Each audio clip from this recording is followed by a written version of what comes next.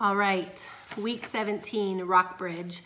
This is definitely very fun um, and very easy. So have all the kids be a part of this experiment, um, maybe do it a few times, see what you can stack on top of the books, um, maybe see what weights it can hold, uh, a lot of different experiments.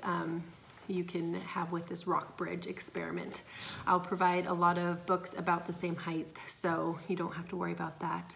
Um, but we're going to move um, the two chairs about 12 inches apart and lay one book on each chair with the edge of the book on the edge of the chairs.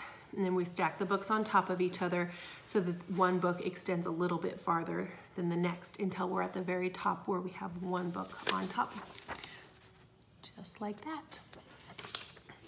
Um, no part of the bottom of the books overlaps the edge of the chair. Each book above the bottom book extends over the chair's edge until the top book is completely past the edges of the chairs.